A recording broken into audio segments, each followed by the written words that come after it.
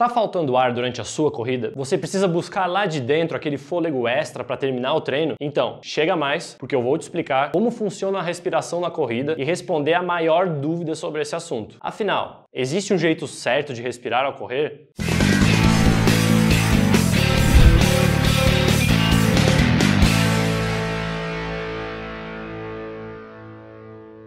Olá, eu sou o Marcos Schneider, treinador aqui do Corrida Perfeita, e hoje a gente vai falar sobre a respiração na corrida. Mas antes, inscreva-se no canal e ative as notificações dos vídeos novos. O que não falta aqui é conteúdo para te ajudar a correr com mais desempenho e longe das dores e lesões. Mas bora pro vídeo. E aí, como respirar bem durante a corrida? Bom, respiração é o simples ato de inspirar e expirar, que tem suas composições de oxigênio, gás carbônico e todas essas coisas aí. Mas o que é interessante a gente entender desse fluxo respiratório? Primeiro, que ele é essencial para o funcionamento do nosso organismo. Dependendo da maneira e da velocidade que o seu coração bate, a demanda do corpo por oxigênio e por energia muda completamente. E aí acaba faltando ou sobrando oxigênio no seu organismo. Esse processo todo envolve esse fluxo respiratório, essa troca gasosa de inspirar e depois expirar, para tirar os rejeitos da nossa respiração. Envolve toda a questão de contração muscular e o próprio funcionamento do nosso organismo. Mas não vamos entrar muito nesses detalhes não. Eu vou falar mais sobre o que parece ser óbvio, mas precisa ser dito. É fundamental você respirar. Mas aí você pensa, Marcos, há uma maneira certa de respirar durante a corrida? Não.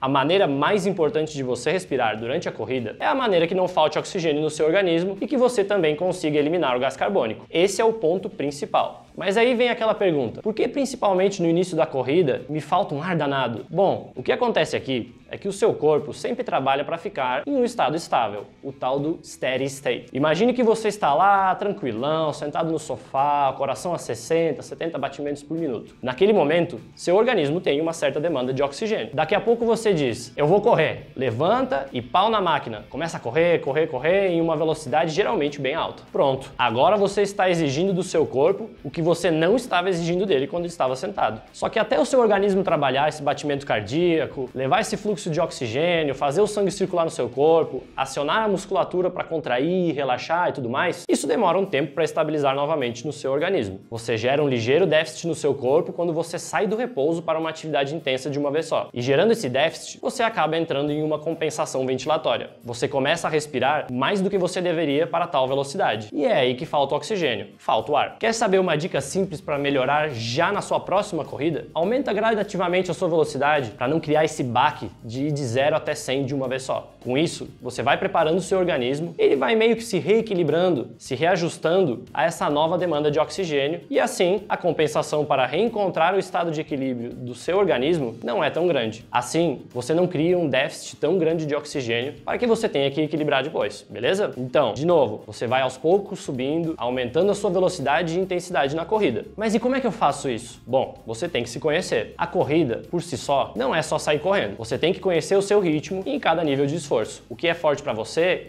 e o que é fraco. E um treino bem elaborado é fundamental para isso. Então, dentro dessa ideia é interessante você saber como progredir. Se você está começando a correr, possivelmente seus ritmos de aquecimento serão numa caminhada progressiva. Se você estiver muito fora de forma, vai ser muito difícil você fazer uma sessão toda correndo. A maior parte será caminhando. Mas isso muda com o tempo, seguindo um treino que leve em conta o seu estágio atual e cause essa progressão do seu preparo físico, assim como temos no Clube Corrida Perfeita. Logo, se sua corrida está difícil, tenha em mente que não é só uma questão de saber respirar, mas sim de respeitar o seu preparo atual e entender que o seu estágio vai exigir primeiro mais caminhadas do que corridas. E que para evoluir, você precisa de um treinamento que intercale adequadamente essas duas atividades. Em breve, Vamos te dizer como podemos te ajudar nessa parte. Entendendo essas questões, voltando a falar de respiração, vamos para uma pergunta que é muito comum. Eu tenho que inspirar pelo nariz e soltar pela boca? Você já deve ter ouvido muito isso, né? Inspira pelo nariz e solta pela boca. Inspira pelo nariz e solta pela boca. Bom, depende de cada caso. Por exemplo, tem pessoas que os buraquinhos que servem para inspirar são bem pequenos, e isso limita bastante a quantidade de ar que é possível de puxar. Seguindo essa ideia, se o nariz estiver entupido ou ficar um pouco gripado, já é era, vou ficar sem oxigênio. O que acontece se eu forçar esse momento de inspirar é que até certo ponto eu vou conseguir inspirar pelo nariz e soltar pela boca, mas também eu posso criar um déficit de oxigênio no meu organismo, que vai deixar a minha corrente sanguínea um pouco mais ácida. Então, eu estou desequilibrando o meu organismo de forma desnecessária. O ponto é, pode respirar pela boca. Aliás, se você conseguir respirar pela orelha, respira pela orelha também. Deixa entrar o ar. O mais importante é que o ar entre e saia, entre e saia. O que não pode é só ficar puxando o ar para dentro e nem hiperventilar, porque isso também vai trazer uma certa toxicidade para o seu organismo. Você tem que deixar o ar sair também, para manter o seu corpo em equilíbrio. Ah, então eu vou respirar 3 para 2, 2 para 1.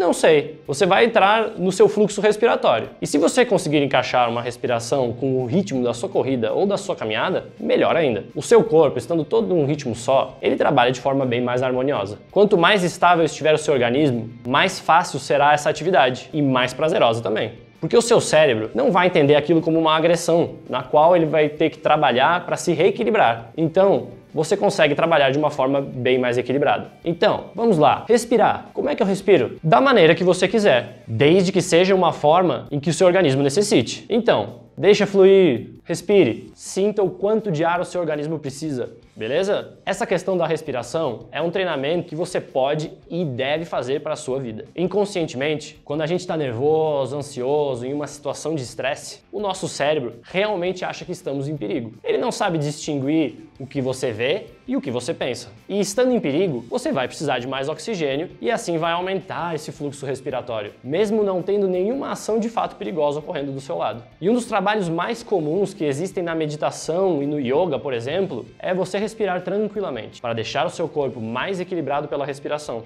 Pelo fluxo respiratório, o oxigênio vai chegar até o seu cérebro, até a sua cabeça, para acalmar todo o sistema. E se você conseguir trabalhar isso na própria corrida, você vai ter o melhor controle do seu organismo durante a atividade. É mais uma coisa para você treinar, relaxar e ter consciência. Mas não tente deixar ela num padrão no qual seu corpo não esteja necessitando. De novo, tenho que respirar 3 para 2, 5 para 1, 4 para 4. Cara, sinta, entre num ritmo, faça uma música, mas deixe o ar entrar e sair, beleza? Esse é o ponto principal. Outro ponto na corrida, que às vezes limita a nossa performance e o prazer da corrida, e que também está um pouco relacionado à respiração, é a dor de lado. A dor do ar desviado, que no Nordeste também é conhecido como a dor de facão, né? Que dói assim do ladinho, como se fosse uma cãibra no seu diafragma, que dá aquela beliscada, você não consegue nem respirar direito. Então, isso ainda não tem uma causa comprovada cientificamente, garantindo que é isso. Mas uma possível causa é estar com a barriga cheia. A sua barriga ainda está ali trabalhando, cheia de água ou de comida, e você não consegue respirar direito. Ou, simplesmente, você começou certa atividade e saiu do zero ao 100. Então, o seu diafragma começou a trabalhar muito a respiração e dá aquela travada. Mas se ligue em uma coisa que você pode fazer quando isso ocorrer. Primeiro, aquela progressão é sempre interessante para você fazer na sua atividade. A outra, surgiu aquela dorzinha, passa um trabalho respiratório. Você pode expandir tanto o seu pulmão quanto a sua barriga, para a gente trabalhar o diafragma, ok? Você inspira fundo, enche bem a barriga barriga e depois você contrai tudo, contrai o abdômen e contrai até mesmo aqui em cima, para curvar um pouquinho, fechando a caixa torácica. Fez isso, expandiu de novo e depois voltou, é como se estivesse alongando o seu diafragma e melhorando o seu fluxo sanguíneo na barriga, ok? Cara, cinco vezes fazendo isso, até mesmo durante a atividade, só diminui um pouquinho a intensidade durante a corrida, a dor vai sumir. Se isso acontecer com você, experimente essa técnica e depois volta aqui para contar se esse negócio não funcionou. Então, conseguiu perceber e pensar sobre a respiração durante a corrida? É, ela pode ser um fator limitante para a sua corrida, mas você tem que entender que a corrida é muito mais coisa. Não é apenas o fluxo do ar que você respira, mas sim como você aplica o seu movimento e como você vai progredir progredir no seu treinamento. É muito mais coisa para que você flua na corrida e consiga aproveitar esse esporte tão maravilhoso que é correr. E se você quiser progredir nos seus treinos da melhor maneira possível, eu te convido a conhecer a nossa assessoria completa de treinos, o Clube Corrida Perfeita. Afinal, como já foi dito, saber respirar não é o único fator importante. Ter uma rotina de treinos preparada especialmente para você, intercalando exercícios de maior e de menor intensidade, é o que vai de fato te ajudar a evoluir nos seus treinos e resultados e tornar a corrida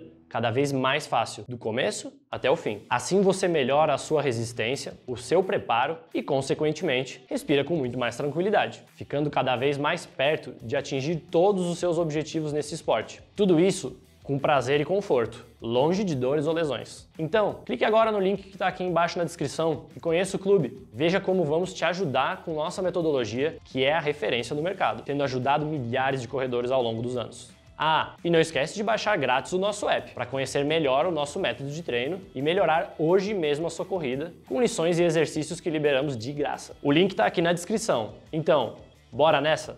Lado a lado, rumo à corrida perfeita. Grande abraço e bons treinos.